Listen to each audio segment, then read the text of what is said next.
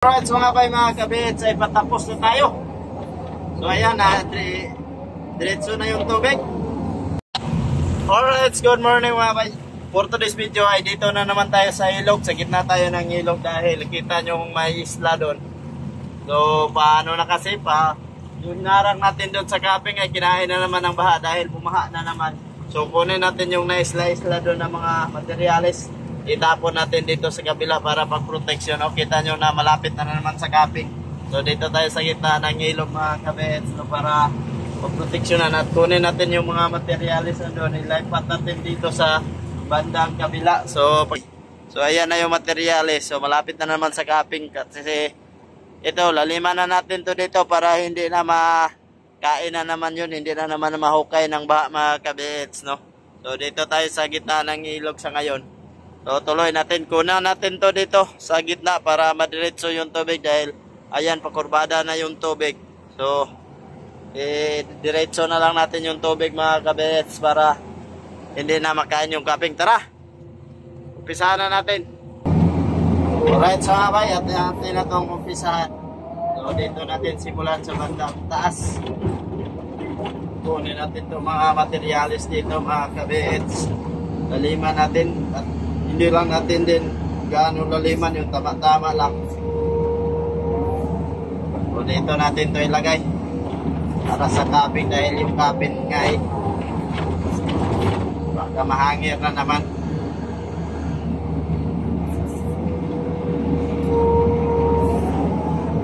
Para magbantay at dumiretso na yung ano no, dumiretso yung tubig dahil bawat baha ay nag-iba na yung posisyon ng ilog. Kasi malakas yung baha at alam nyo na natagulan na ngayon. Palagi na ang bumabaha mga ka-BH hindi na natin mapigilan kaya kailangan lang natin na gawa ng aksyon kagad ayun.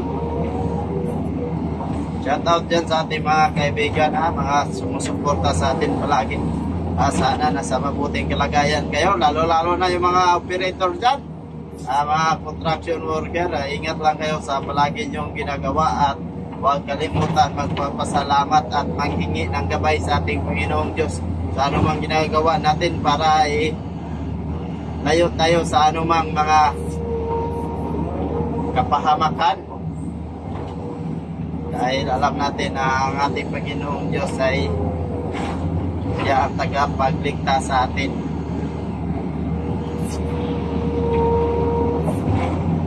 Okay mga kabits ay patapos na tayo. So ayan na, dire, diretso na yung tubig. So parang lumakas yung tubig ah. Waha na ata mga kabits.